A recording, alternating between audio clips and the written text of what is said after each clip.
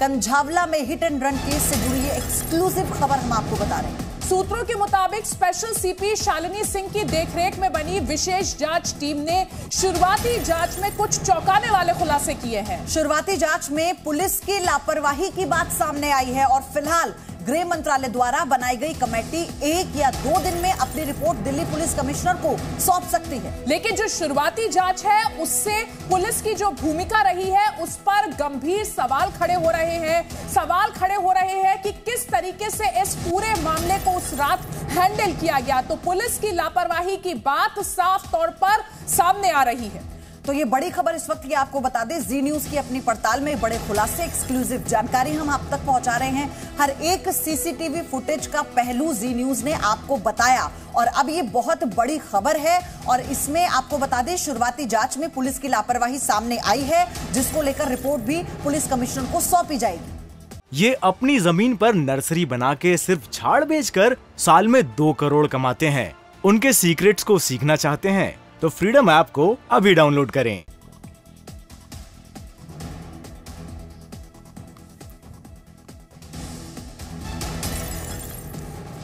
और अब आपको दिखाते हैं सुबह आठ बजे की अस्सी बड़ी खबरें फटाफट अंदाज में। अंजलि की दोस्त निधि पर उठ रहे सवाल सीसीटीवी वीडियो में हादसे के बाद गली में भागती हुई दिखी निधि। कंझावला में हादसे के बाद आरोपियों ने रोहिणी में पार्क की गाड़ी। केस में सामने आया एक और वीडियो। सुबह चार बजकर इक्यावन मिनट पर रोहिणी सेक्टर एक में गाड़ी को खड़ा किया गया। अंजलि की माँ ने निधि की बातों को बताया गलत, कहा, मैं निधि को नहीं जानती। सब सोची समझी साजिश। निधि भी इसमें हो सकती है शामिल।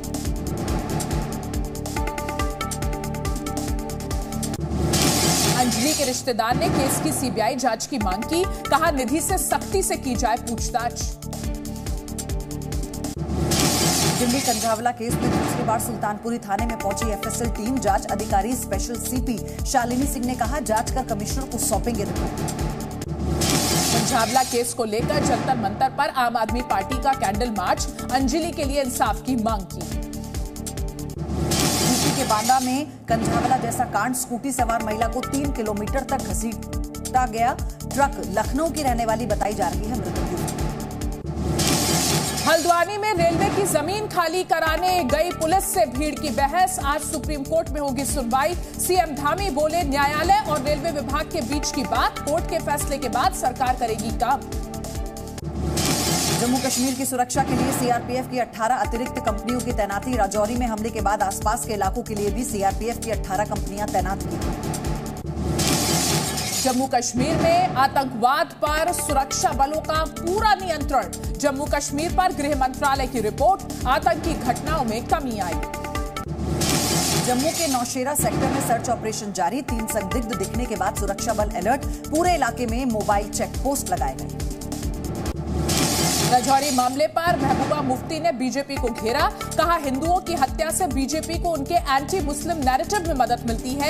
ऐसी घटनाओं की कोई जवाबदेही नहीं। सोनिया गांधी को दिल्ली के गंगाराम अस्पताल में कराया गया भर्ती। वायरल रेस्पिरेटरी इन्फेक्शन का इलाज जारी। गृह मंत्री अमित शाह के विमान की गुवाहाटी में कराई गई इमरजेंसी लैंडिंग खराब मौसम की वजह से रात को अगरतला नहीं पहुँच पाए शाह। गृह मंत्री अमित शाह आज त्रिपुरा में दिखाएँगे रथ यात्रा को हरी झंडी जन विशाल यात्रा की तैयारियाँ पूरी। भोपाल में अखिल भारतीय सम्मेलन वाटर विजन एट 2047 का आयोजन। पीएम मोदी आज करेंगे कार्यक्रम को संबोधित। आज फिर हरियाणा में एंट्री करेगी राहुल की भारत जोड़ो यात्रा 10 जनवरी तक हरियाणा में रहेगी यात्रा। भारत जोड़ो यात्रा पर अखिलेश यादव का बयान बोले भारत जोड़ो यात्रा की भावना से जुड़ा हूँ लेकिन इसमें हिस्सा नहीं लेंगे। भारत जोड़ो यात्रा में राहुल गांधी ने बीजेपी पर बोला हमला, कहा पीएम के दोस्तों के पास जाता है जनता की जेब का पैसा। देश में डर और नफरत फैला रही है बीजेपी।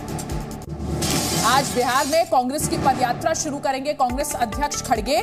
बांका से शुरू होकर गया में खत्म होगी ये यात्रा। बिहार के 17 जिलों से होकर गुजरेगा 1200 किलोमीटर लंबा मार्च। बिहार के मुख्यमंत्री नीतीश कुमार आज बगहा से शुरू करेंगे समाधान यात्रा। बुधवार को वाल्मीकि नगर में किया इको टूरिज़्म का निरीक्षण।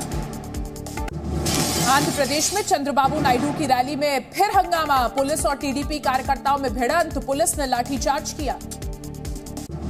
यूपी निकाय चुनाव पर योगी सरकार को सुप्रीम कोर्ट से राहत। हाई कोर्ट के जनवरी में ही चुनाव कराने के आदेश पर सुप्रीम कोर्ट ने लगाई रोक। चमोली के जोशी मठ में हो रहे भारी भूस्खलन के विरोध में स्थानीय लोगों ने निकाला जुलूस। एनटीपीसी के खिलाफ हुई जमकर नारेबाजी। लखनऊ में होने वाले ग्लोबल इन्वेस्टर समिट में निवेशकों को आमंत्रित करने मुंबई पहुँचे सीएम योगी। अक्षय कुमार से मुलाकात की तस्वीर आई सामने। मुंबई इन्वेस्टमेंट समिट को लेकर अखिलेश का योगी से सवाल कहा बताएँ कितना काम ज़मीन पर हुआ? इनकी इंडस्ट्रियल पॉलिसी क्या है? हरियाणा के खेल मंत्री संदीप सिंह पर आरोप लगाने वाली महिला कोच ने मंत्री की गिरफ्तारी की मांग की, कहा उन पर धारा तीन सौ छिहत्तर लगानी चाहिए। वकील ने यौन उत्पीड़न की बात कही। लखनऊ में बदले गए चार बस अड्डों के नाम, शहीदों की याद में रखे गए नाम, आलमबाग बस स्टैंड अब वीरांगना उदा देवी बस स्टेशन कहलाएगा।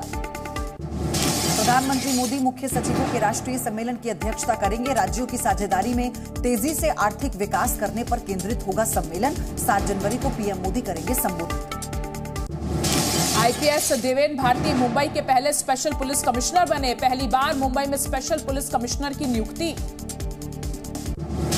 महाराष्ट्र के पूर्व मंत्री अनिल परब के खिलाफ ईडी का एक्शन। 10 करोड़ की संपत्ति कुर्क की गई।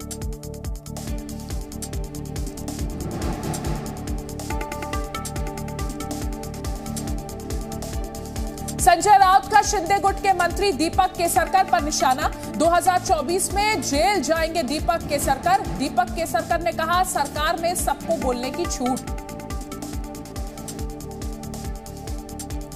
दिल्ली में गणतंत्र दिवस की तैयारियाँ जारी, कर्तव्य पथ पर परेड की रिहर्सल करते दिखे जवान। देश भर में हेरिटेज लाइन की ट्रेन में लगने वाले हाइड्रोजन इंजन की तस्वीर आई सामने। स्टीम इंजन की तरह इस इंजन से भी निकलेगी भाप। दिल्ली में बढ़ी इलेक्ट्रिक गाड़ियों की तादाद। दिसंबर 2022 में दिल्ली में हुई इलेक्ट्रिक गाड़ियों गाड़ियों की रिकॉर्ड बिक्री। दिल्ली में आज ठंड का ऑरेंज अलर्ट बुधवार को दिल्ली में सीज़न का सबसे कम तापमान दर्ज किया गया।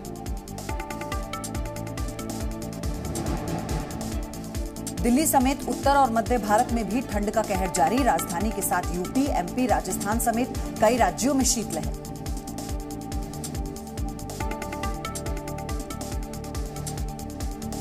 राजस्थान में कड़ाके की ठंड का दौर शुरू। 20 जिलों में अलर्ट जारी। 7 जनवरी तक घने कोहरे की आशंका।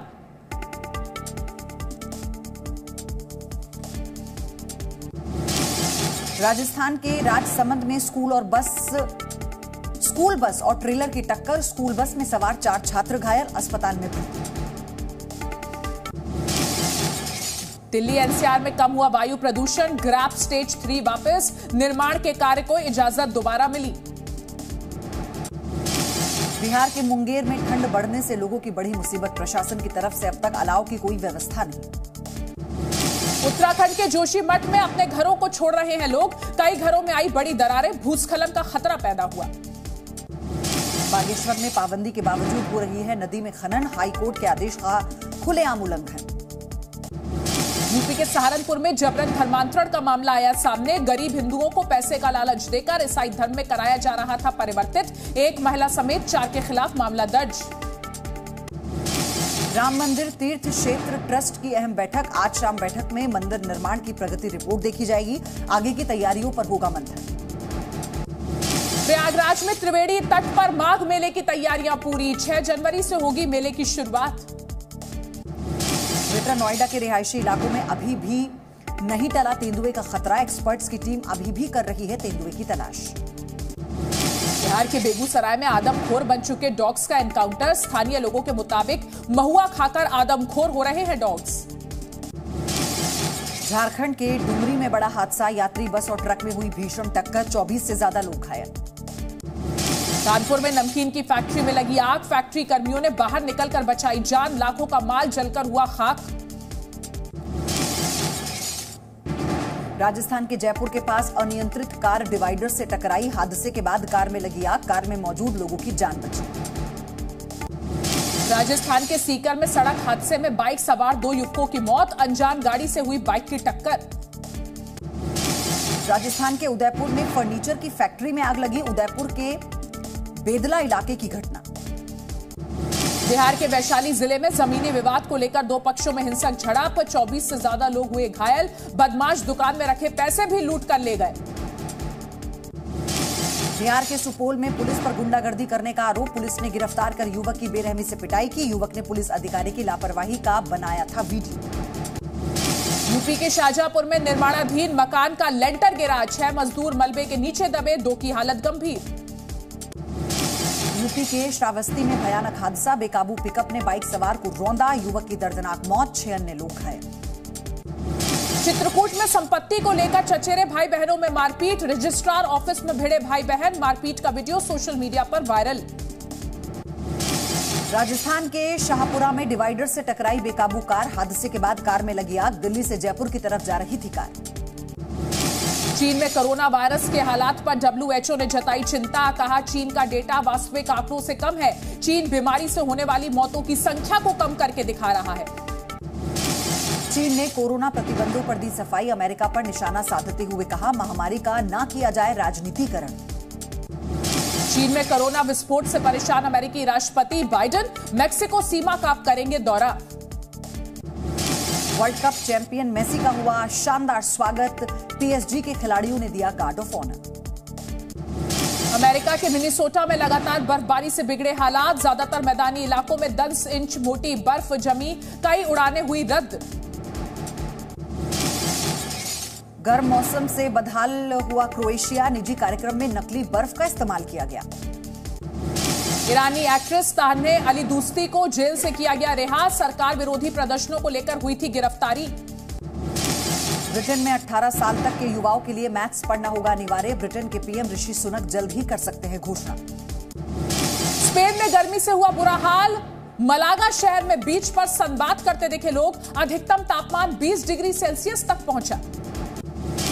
रूस यूक्रेन युद्ध के बीच रूस का बड़ा एक्शन। अटलांटिक में तैनात की गई दुनिया की सबसे तेज मिसाइल, जिरकॉन, पश्चिमी देशों पर साधा निशाना। रूस ने यूक्रेन के कीव पर दागी मिसाइल कीव के अल्फ़ाबेट होटल को पहुँचा नुकसान। चीन में कोरोना ने मचाई तबाही मरीजों से भरे शंघाई के अस्पताल। विशेषज्ञों ने इस साल 10 लाख मौतों की जताई आशंका। बेहद खराब हुई ईरान की हवा। गंभीर वायु प्रदूषण के कारण राजधानी तेहरान में स्कूल बंद पूरे शहर में छाया स्मॉग। अमेरिका के दक्षिणी हिस्सों में बाढ़ जैसे हालात केंटकी शहर में कई गाड़ियाँ पानी में डूबी, ड्रोन तस्वीरें सामने आई। नेटो के पूर्व महासचिव की ताइवान के राष्ट्रपति से मुलाकात, चीन के विस्तार को लेकर हुआ मंथन। अमेरिका के इलिनॉय में देखा गया बवंडर मौसम विभाग ने जारी किया अलर्ट, लोगों को घरों में रहने के निर्देश। सऊदी अरब में भारी बारिश ने बढ़ाई मुश्किलें, मदीना शहर की नदी में आया तूफ़ान। अब क्यूबा के लोगों को मिल सकेगा अमेरिका का वीज़ा। अमेरिकी दूतावास ने बहाल की सेवाएँ। देश छोड़ने के लिए तैयार हैं कई लोग। आज भारत और श्रीलंका के बीच दूसरा टी ट्वेंटी भारत को सीरीज़ में एक शून्य की बढ़त। पहले मैच में श्रीलंका को दो रन से हराया था। दूसरे टी से पहले टीम इंडिया में बड़ा बदलाव। संजू सैमसन चोट के कारण सीरीज़ से बाहर। जितेश शर्मा को टीम में शामिल किया गया। ये अपनी ज़मीन पर नर्सरी बना के सिर्फ़ झाड़ बेचकर साल में दो करोड़ कमाते हैं। उनके सीक्रेट्स को सीखना चाहते हैं तो फ्रीडम ऐप को अभी डाउनलोड करें।